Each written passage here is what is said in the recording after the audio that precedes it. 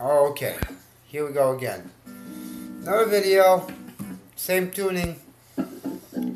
From the top, which low B, low E string, tuned down to a B, and everything else tuned standard E. So it'll be B, A, D, G, B, E.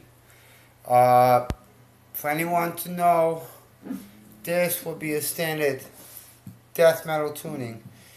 Um, just playing out of my Strat with this configuration and my death metal pedal. Okay, all right. Um, all right.